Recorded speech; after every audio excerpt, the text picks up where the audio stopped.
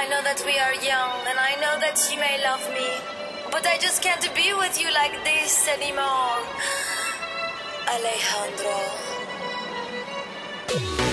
Alejandro.